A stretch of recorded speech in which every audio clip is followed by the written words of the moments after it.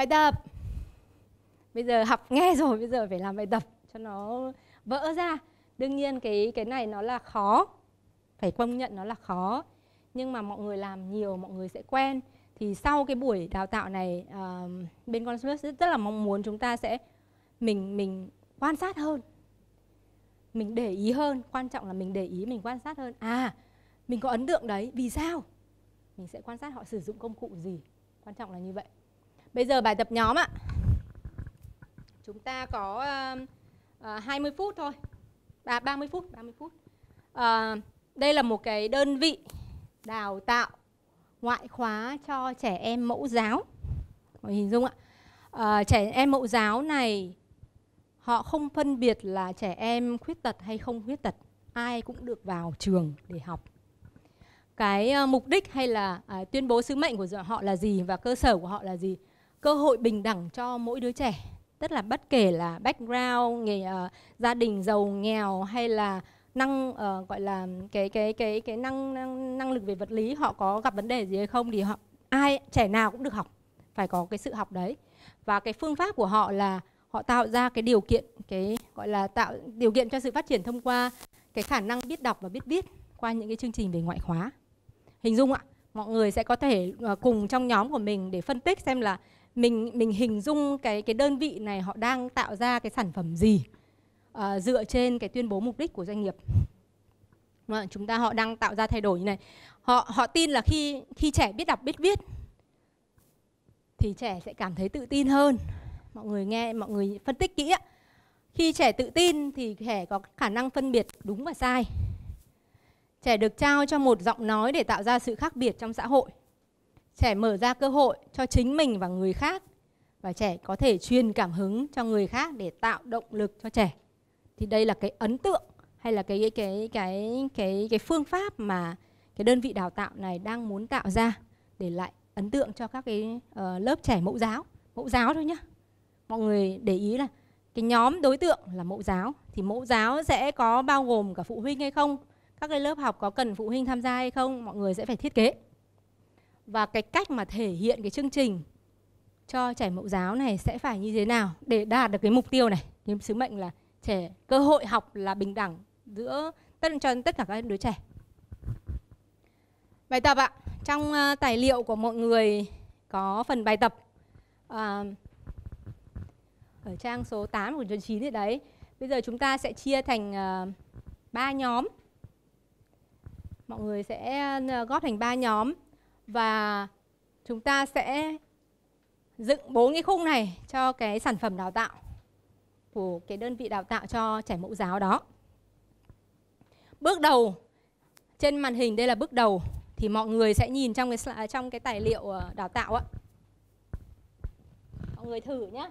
Đây nó không phải là đúng hay sai hay là nhóm nào làm giỏi, nhóm nào điểm cao mà cái quan trọng là chúng ta được thử nghiệm để bắt đầu thử nghiệm nó là nó nó sẽ sẽ như thế nào và chúng ta làm nhiều thì chúng ta sẽ quen. Ở trang số 7 ạ. Nó sẽ có phần đầu tiên là từng khung này, mọi người sẽ nhìn thấy cột này. Khung đúng không? Có lập khung, lập trình, tương tác và ký đức đem về.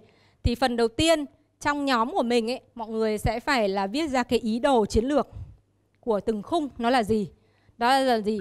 Đối cái khung đầu tiên ạ. Ấn tượng ban đầu thì đang muốn tạo ra ấn tượng gì về cái sản phẩm, cái phong cách của nó là gì? Cái biểu tượng, cái giá trị một đại diện nó là gì? Nếu coi đơn vị này là một con người thì nhân cách của đơn vị này được miêu tả như thế nào? Tính cách về phẩm chất đấy. Cái đấy mình làm đầu tiên. Thứ hai, liên quan đến phần lập trình. Để thể hiện cái ấn tượng đấy thì chúng ta sẽ phải sử dụng những phong cách như thế nào liên quan đến uh, không gian tại chỗ này, không gian ở trên uh, trực tuyến cho cho trẻ nếu mà chúng ta sử dụng cái phương pháp là học trực tuyến cho trẻ để tìm ra cái sự độc đáo đó. Và các giáo viên sẽ cần phải được tuyển chọn và đào tạo thường xuyên như thế nào để nhận ra là trẻ nào cũng được bình đẳng như nhau trong cái quá trình uh, cái cái khả năng được học. Tương tác độc đáo phương pháp giảng dạy sẽ phải như thế nào để đảm bảo cái sự bình đẳng đấy? Tạo cho trẻ cái sự tự tin biết đọc biết viết đúng không? Có tiếng nói tạo ra ảnh hưởng đến người khác. Đấy là cái phương pháp để mình tạo ra cái cái cái uh, hiệu ứng đó. Chương trình các buổi học sẽ được thiết kế như thế nào? Các khoảnh khắc độc đáo của trung tâm dành cho trẻ sẽ là gì? Đấy là khung thứ ba liên quan phần ý đồ mình mình mô tả trước. Và phần cuối cùng ký ức đem về là cảm nhận và ký ức. Bạn mong muốn mỗi trẻ sẽ đem về sau khóa học là gì? Bạn sẽ sử dụng những phương thức gì để đạt được mục tiêu đó? Đấy là liên quan phần ý đồ. Thì uh, mình trong khuôn khổ có à, uh, 30 phút thôi. Nên chúng ta hoàn thành cái phần ý đồ trước. Xong phần ý đồ rồi thì mình mới liên quan đến phần chi tiết. Như nói lúc đầu ạ mỗi cái khung mình đều cần phải hình hình dung là về phần tính cách này trạng thái tư duy này quy trình và công cụ. Thì khi mà mình định hình cả bốn khung cả một mạch rồi cái cả một cái trải nghiệm hành trình rồi thì chúng ta sẽ đi sâu vào từng khung một. Các bạn có thể chọn cái khung mà mình muốn tập trung nhất trước chẳng hạn và trả lời cái phần đó theo nhóm của mình. Mọi người muốn thử chưa ạ? Có câu ờ, hỏi gì liên quan phần bài tập này không ạ? Cái cột ý đồ trước đúng rồi đúng rồi. Sau đấy thì sẽ liên cái phần phần chi tiết của từng khung. Bây giờ xin mời nhóm uh, xin mời mọi người ngồi gần lên đây cho uh, cho gần năng lượng ạ xin mời nhóm ờ, voi con gấu xám ạ. À, mỗi nhóm chúng ta sẽ có 5 phút để trình bày. Và à, phần chấm điểm nó không khác gì bằng gọi là à, âm lượng của phần pháo tay của mọi người ủng hộ cho cái phần trình bày đấy. Nó sẽ thể hiện là gì? Pháo tay mà lớn ý càng âm lượng càng lớn thì chúng ta càng sẵn sàng là đặt gạch để mua sản phẩm đăng ký cho con mình học. Đúng không ạ? Mọi người đồng ý về cách chấm điểm đấy không ạ? Vâng. Xin mời nhóm voi con gấu xám. À, xin chào tất cả các anh chị. À, trước hết thì à, đi vào cái phần chính thì cho phép uh, nhóm voi con uh, xin uh, tỏ lòng biết ơn và cảm ơn uh, con uh, Sunus uh, đã tổ chức một cái chương trình rất là ý nghĩa và rất là bổ ích uh, và không biết nói gì hơn cả chỉ biết là uh, nói rất là cảm ơn à, cái điều tiếp theo nữa là tôi xin uh, giới thiệu cho với mọi người một chút là nhóm này tên là voi con gấu xám. À, và đấy là tên tên nhóm và ở cái slogan là à, trẻ em là số 1 vậy bây giờ chúng ta sẽ tôi sẽ nói là uh, voi con gấu xám thì mọi uh, uh, đội mình sẽ nói là trẻ em là số 1 nhá. Uh, xin mời đội uh, uh, voi con gấu xám đứng lên ạ. Tất cả các thành viên à, voi con gấu xám đứng lên ạ à, không bây giờ chỉ có đội này trước đã nha mình thể hiện đúng là voi con gấu xám nhá Bây giờ mọi người có cần thử không? Tôi nói là voi con gấu xám là mọi người nói là trẻ em là số 1 nhá. Ok, thần luôn nhá. Sẵn sàng chưa? Rồi. Voi con gấu xám. À, rồi, lại nhá. Voi con gấu xám. Ok, một tràng pháo tay ạ. Rồi. À, và sau đây thì uh, xin uh, uh, giới thiệu đại diện uh, một người uh, xinh đẹp uh, của voi con gấu xám đó là chị Quỳnh Chi sẽ lên uh, trình bày uh, với mọi người về cái uh, nội dung. Xin mời chị. Đầu thì um, thì là mọi người cũng va đập khá nhiều là với cái tuổi mẫu giáo thì là như thế nào và cái đặc điểm của giáo dục là như thế nào thì trẻ mẫu giáo được được, được coi là từ 2 tuổi cho đến 4 năm tuổi, tức là từ 24 tháng cho đến 60 tháng. Với những em bé ở cái lứa tuổi này, những cái gọi là phát triển của các em có cái gì? Phát triển ngôn ngữ là một, phát triển thể chất là hai, các vận động thô, ví dụ như bảo các em ấy nhảy hoặc là bò trườn hoặc là vật nhau hoặc là những đấy là vận động thô, vận động tinh. Ví dụ mình ném các em quả bóng các em bắt được, đấy là vận động tinh. Thế thì với cái kỹ năng ngôn ngữ của trẻ thực ra ở cái tuổi này thì các em coi tất cả những cái mà gọi là thân thiện đều là bạn và các em uh, có bằng chứng cho biết rằng với phương pháp đúng và phương pháp phù hợp các em đều có thể đọc và viết được. Không phải là xuất sắc nhưng đều có thể là phát huy những cái kỹ năng đấy trong cái lứa tuổi này. Thế thì chúng tôi có thể bắt đầu luôn vào cái ờ, lập khung bạn nhỉ? Lập khung. Lập khung thì uh, mình bám vào cái của chị Hằng gửi ạ. Là ấn tượng đầu tiên bạn muốn với các phụ huynh và cộng đồng có thể cái gì? Có với cái cái trung tâm của mình là gì đúng không? Thì những cái này thì nhờ em uh, phát triển tốt. Nhưng mà cái cái ấn tượng đầu tiên là mọi muốn đưa ra cho cộng đồng và các phụ huynh thấy rằng là tất cả trẻ em mặc dù khiếm khuyết hoặc là các em bình thường hoặc các em rất nhanh nhạy thì đều có thể phát triển tốt và có thể đọc được và viết được ở một mức độ nào đó. Nhưng mà ở lớp nhóm mình lại có cả phát triển cả cái logo và cái nhân cách của đơn vị này được miêu tả thế nào à, em xin thay mặt chị ờ, Chi để ờ, có thể trình bày tiếp bài của nhóm em ạ. Thì cái ấn tượng đầu tiên bạn ờ, được ấn tượng đầu tiên mà khi mà cái trường học này đã có một cái sự khác biệt ngay từ cái sự lựa chọn đầu à, lựa chọn đầu tiên đấy là dạy cả trẻ em khuyết tật và trẻ em phát triển bình thường. Nên là cái chiến lược cũng sẽ đi hoàn toàn khác và cái các cái ấn tượng mà họ đã muốn thể hiện đầu tiên là với phụ huynh và với cộng đồng. Với phụ huynh thì phải thể hiện được cái phương pháp phương pháp dạy đồng nhất bởi vì trộn giữa hai hai hai hai hai hai thế hai đối tượng ấy, thì phải có phương pháp dạy. Với cái thứ hai là đối với cộng đồng thì phải nhìn thấy được cái sự gọi là tận tâm và công bằng. À, cái nữa là à, biểu tượng gì để có thể hiện được à, thể hiện được mục đích sứ mệnh của đơn vị đào tạo này thì nhóm em là chọn à, vẫn là cái mầm cây và hai cái lá. Dù là lá đầu tiên là lá to lá nhỏ nhưng mà sau này khi phát triển lên thì các lá đều lớn như nhau. À, nếu mà coi đơn vị này là một con người và có nhân cách thì uh, được miêu tả như nào thì bọn em lấy hình tượng là người chăm sóc ạ. Người chăm sóc chính là cái người mà cái người tận tâm và chăm sóc uh, quan tâm nhất có thể đối với cái ừ, đối với trẻ em là những cái đối tượng rất là nhạy cảm mong manh dễ vỡ về lập trình.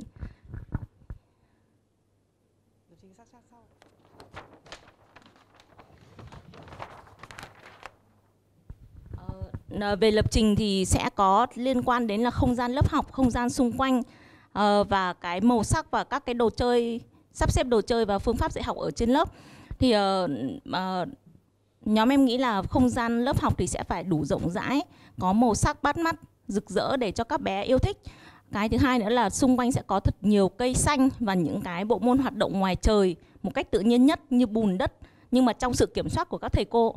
Ờ, về ờ, về về về phương pháp dạy thì uh, giáo viên cái tố chất đầu tiên để để đánh giá đấy là giáo viên phải thực sự là yêu thích trẻ và có được cái kiến thức cơ bản nhất về trẻ khuyết tật và phương pháp dạy trẻ khuyết tật. Uh, và cái cái giáo viên ở trường này thì sẽ phải được đào tạo thực ra không phải đào tạo mà sẽ phải được truyền đạt những cái sự yêu thương về trẻ và những cái gì mà mà cái phương pháp mà tốt nhất dành cho cả trẻ khuyết tật và trẻ em phát triển bình thường ạ.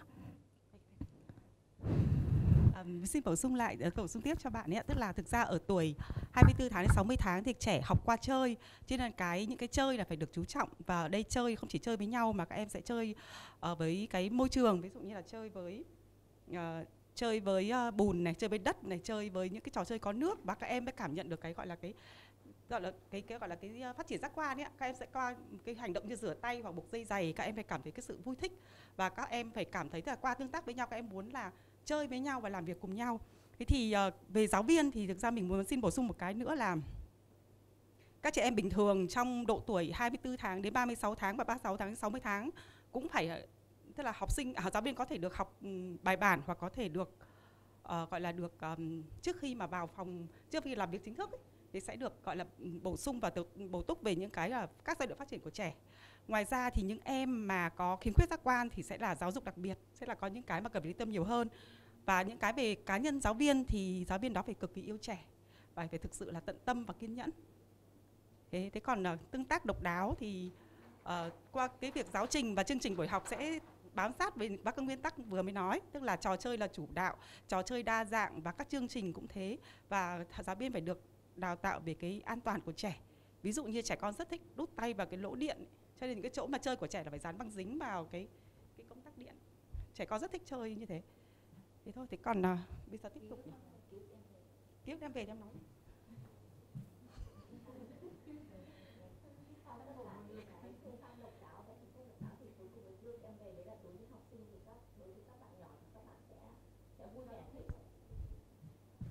Các bạn ờ, các bạn các bạn nhỏ sẽ vui vẻ sau khi đi học về, sẽ nhắc đến tên trường, tên lớp và tên cô và tên các bạn ạ. Và ờ, muốn được đi học của ngày hôm sau tiếp, còn đối với phụ huynh thì cảm nhận được sự yên tâm. Thì ờ, cái cước đem về đấy lớn nhất là đối với hai đối tượng là phụ huynh và học sinh ạ. Và sẽ lan tỏa đến trong cái cộng đồng của bố mẹ những cái người mà quan tâm nhất đến trẻ ạ. Bọn em xin hết ạ.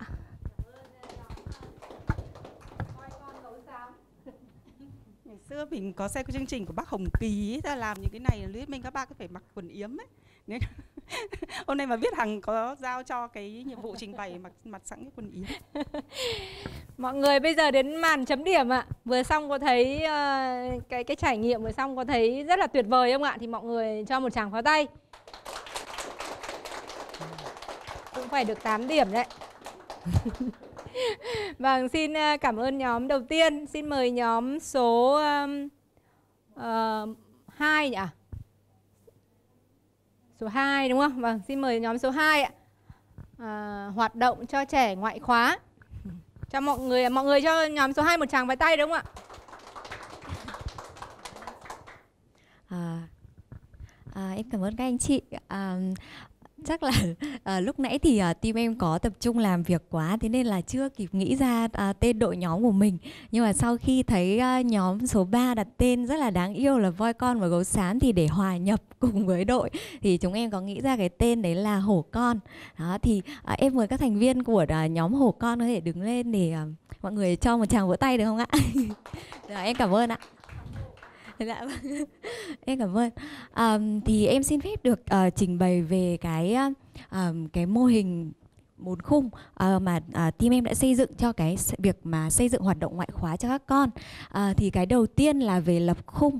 Um, thì cái uh, cảm nhận mà chúng em mong muốn có thể xây dựng à, mà không chỉ à, đem lại cho các con cũng như là ba mẹ khi mà à, đến với cái chương trình có thể à, cảm nhận được ấy thì à, nó sẽ có ba cái yếu tố chính. Cái thứ nhất là tạo cho các con cái sự thú vị cái sự vui vẻ cái cảm giác thú vị à, khi con tham gia cái hoạt động ngoại khóa đấy. Và cái thứ hai đấy là các con cảm thấy rằng là mình được tôn trọng. Và ba mẹ cũng nhìn thấy được rằng là các con được tôn trọng khi mà đến với cái hoạt động ngoại khóa đến với cái không gian cái môi trường này. Bởi vì là um, trẻ con thì mỗi bạn sẽ có một cái đặc điểm uh, những cái cá tính khác nhau mình gọi là personalities là mỗi bạn lại có một bản sắc khác nhau. Vậy thì để cho các con được thoải mái nhất để thể hiện cái cái bản sắc của mình thì bắt buộc là uh, chúng ta cần phải có một cái nguyên tắc là các con sẽ được tôn trọng. Và cái việc tôn trọng này không chỉ là giữa các thành viên các bạn uh, trong đội nhóm với nhau mà là giữa uh, thầy cô uh, các bạn nhân viên tức là của cả tổ chức đấy sẽ cần phải dựa trên cái nguyên tắc là tôn trọng lẫn nhau. Và một điểm nữa đấy là uh, cái sự uh, uh, động viên và khích lệ à, khi mà chúng em xây dựng một cái mô hình một cái môi trường à, học tập cho các con à, thì cái việc mà các con được trao cái niềm tin ấy sẽ giúp cho các bạn ấy cố gắng hơn nỗ lực hơn trong cái um, cái cái sứ mệnh của mình khi tham gia một hoạt động. Đó à, và cái thứ hai đấy là về lập trình. Thì um, um, chúng em mang, mong muốn là sẽ mang tới cho uh, không chỉ là phụ huynh và các con khi mà uh, đến với cái không gian cái môi trường mà chúng em xây dựng sẽ cảm nhận thấy rằng là cái đầu tiên là cái không gian này rất là nhiều màu sắc bởi vì là các con thì rất là nhạy cảm với hình ảnh màu sắc. Vậy thì đến với không gian mà nó có tạo cho các con một cái cảm giác là nó rất là sinh động thì các bạn ấy sẽ cảm thấy hứng thú hơn. Và cái nữa ngoài ra chúng em còn mong muốn cho con có thể uh, ghi nhớ sâu hơn và cảm thấy ấn tượng hơn khi con đến với môi trường đấy. Thì uh, chúng em sẽ xây dựng những cái um, những cái không gian trải nghiệm cho con. Ví dụ như là những cái góc um, thư viện chẳng hạn hoặc là những cái booth để cho các bạn ấy có thể tham gia làm sao có thể tương tác với nhau. Uh, để khi mà con về nhà thì con vẫn còn gợi nhớ trong đầu. Khi con nhớ đến một hình ảnh nào đấy trong cái môi trường đấy thì bạn ấy vẫn nhớ được đến cái câu chuyện mà bạn ấy à, gặp một người nào đấy hoặc nhớ đến cái không gian mà bạn ấy đã làm cái hoạt động gì thì thường các con sẽ ghi nhớ tốt hơn thông qua các câu chuyện hoặc thông qua những cái người cái hình ảnh mà con con con gợi nhớ trong cái uh, trải nghiệm quá khứ của mình. Um, và một điểm quan trọng nữa uh, trong cái việc là lập trình đó là uh, chúng em sẽ tạo ra một cái không gian mà tạo cho các con và ba mẹ cảm thấy cái sự an toàn khi mà con tham gia vào trong môi trường đó. Um, cái việc an toàn nó không chỉ là uh, việc xây dựng một cái đội ngũ tham gia đáng tin cậy giữa con người với nhau mà nó còn phải là uh, qua cái, cái không gian mà mình xây dựng qua cơ sở vật chất. Ví dụ như là những cái kể cả những cái việc mà mình trang trí hay tạo trải nghiệm này cho các con ấy thì nó vẫn phải cần là có mục đích là ví dụ nó sẽ đơn giản chỉ là những cái hướng dẫn nhỏ. Tức là sẽ có những cái hướng dẫn nhỏ cho các con hoặc là những cái trang trí mà nó mang tính chất là định hướng cho các con là cái khu vực này con sẽ được làm gì hoặc không làm gì chẳng hạn. Hoặc là con muốn đi đâu đấy thì con sẽ có những cái chỉ dẫn và nó bằng hình ảnh bằng những cái rất là sinh động. À, vô thức có thể các con không nhận ra à, có thể các con không biết được an toàn là gì nhưng mà vô thức là trong vô thức những cái đó có thể định hướng cho các con trong quá trình con hoạt động tham gia vào cái trải nghiệm mà chúng em tạo ra. À, tiếp đến là phần thứ ba là về phần tương tác. À, thì đối với phần tương tác thì um, cái quan trọng nhất uh, em nghĩ đấy là um, cái việc mà mình có tức là cái đội ngũ nhân viên của mình uh, đào tạo nên thì họ phải um, tạo nên được cái rapport. Rapport ở đây tức là cái việc mà tương tác uh, giữa um, giáo viên uh, của mình với các bạn uh, học viên. À, thì nó mang nó không chỉ là tương tác đơn thuần mà nó còn là cái việc mà um, tương tác dựa trên cái sự thấu hiểu về cảm xúc của các con và cái việc tôn trọng những cái cá tính khác biệt nữa. Vậy thì um, em dùng cái từ rapport bởi vì em không biết là phải để cái tên tiếng việt như thế nào cho đầy đủ. Thì em sẽ giải thích cho mọi người là đó, đó tức là cái việc mà tương tác với con dựa trên sự thấu hiểu về cảm xúc và sự tôn trọng um, thêm một cái nữa là giống như lúc nãy thì chị uh, chi cũng có chia sẻ đấy là các con thì sẽ um, học không phải là học thông qua cái việc là sách vở truyền thống mà các bạn ấy sẽ học các kỹ năng um, các cái uh, kiến thức sẽ thông qua những cái hoạt động mà mình xây dựng. Bởi vì các bạn nhỏ thì các bạn ấy sẽ nhạy cảm về hành động này về những cái về âm thanh về hình ảnh. Thế thì um, những cái mà các con học được ấy nếu như mà mình có thể xây dựng nó à, bằng các hoạt động lớp học hoặc là bằng các cái kế hoạch hoặc là những cái thử thách cho các bạn ý thì các bạn ấy sẽ có thể là tiếp cận nó một cách um, thú vị và có thể là sẽ um, hứng thú hơn. Đó thì đấy là cái mà chúng em đưa ra là activity based learning là xây dựng hoạt động mà học tập dựa trên các hoạt động lớp học. Um, tiếp theo là về ký ức đem về. Thì um, À, à, bởi vì là em có nói ở trên đấy là à, khi mà à, chúng em xây dựng các hoạt động cho con ấy thì chúng em luôn có những cái thử thách cho các con. Nó có thể là các dự án ví dụ dự án trồng cây những cái dự án mà các con à, trong cái khả năng các con có thể làm được và nó có ý nghĩa thì để cho bạn ấy ghi nhớ sâu hơn. Không chỉ là về cái câu chuyện những cái trải nghiệm bạn ấy đã làm mà còn là cái ý nghĩa bạn ấy được tạo ra. Thì bạn ấy sẽ được mang cái sản phẩm mà bạn ấy thiết kế mang về này thì làm kỷ niệm. Và cái nữa là để ghi nhận cho cái sự cố gắng của các con. À, trong quá trình mà các bạn ấy tham gia cái hoạt động đấy thì chúng em cũng sẽ có những cái huy chương à, có tên của con chẳng hạn. Ví dụ như là chiến binh nhí gì đó hoặc là um, uh, ví dụ người hùng gì đấy chẳng hạn để cho các con cảm giác là à mình vừa mới đóng góp được một cái gì đấy rất là to lớn và mình được ghi nhận cái điều đấy thì các con sẽ cảm thấy là à đấy là một việc tốt và mình sẽ luôn luôn cố gắng để làm cái điều đấy về sau nữa. Đó dạ vâng. Kết thúc. Quá là nhiều. có quá 5 phút không hả chị? Không sao em. Cảm ơn cảm ơn nhóm số 2 ạ. Bây giờ là phần pháo tay chấm điểm ạ cho nhóm hổ con xin cảm ơn à, nhóm cuối cùng chúng ta sẽ có 5 phút và sẽ có một cái trải nghiệm mọi người cùng chờ đón ạ xin mời nhóm số 1 Dạ, em chào mọi người ạ. Em là Ngọc Ánh là em đại diện của nhóm số 1 ạ. Nhóm số 1 thì em xin mời các thành viên của nhóm số 1 lên ờ, có thể đứng lên được không ạ? Trong lúc là dạ vâng, nhóm số 1 ạ. Xin mọi người gửi tới một tràng vào tay cho cho nhóm số 1 ạ. Bạn học sinh từ 3 đến 5 tuổi là các bạn sẽ là cái người trải nghiệm sản phẩm chính của tụi em. Và cái người mà quyết định xem là có cho con đi học cái chương trình này hay không là phụ huynh và nhà trường. Và từ đó thì bọn em bắt đầu tư duy tiếp là đến câu chuyện là, cái câu chuyện là bây giờ cái chương trình là cái thương hiệu mình đang muốn xây dựng ở đây thì nó sẽ cần đảm bảo yếu tố gì để có cả cả cái người tiêu dùng của mình là các bạn học sinh từ 3 đến 5 tuổi và cả nhóm phụ huynh và nhà trường đều cảm thấy an tâm sử dụng sản phẩm này của mình. Đó thì cái lập khung. Thì từ đấy thì từ một gợi ý của chị bên trong nhóm ạ, thì bọn em đã có một cái cái khung bọn em đang xây ra là hình ảnh của người mẹ. Bởi vì không có ai có tình yêu thương và có cái sự quan tâm và chăm sóc với những cái bạn tầm nhỏ như vậy, với các bạn mà từ 3 đến 5 tuổi bằng một người mẹ. Đó, và không có ai có thể là dành được, bởi vì cái đối tượng ở đây lại là những cái, các bạn mà mà rất là đa dạng, các bạn có thể là, có là hay, có thể là trẻ khiếm khuyết và cái tình yêu thương vô điều kiện của người mẹ sẽ là những cái mà bù đắp lại cho bạn, những cái mà bạn đang bị khiếm khuyết. Thì đấy là cái niềm tin của nhóm. Thì bọn em mong muốn là bọn em xây dựng ra một cái chương trình giáo dục mà nó nó là một cái chương trình, nó mang cái tinh thần của người mẹ mà dạy dỗ và hỗ trợ và chăm sóc con.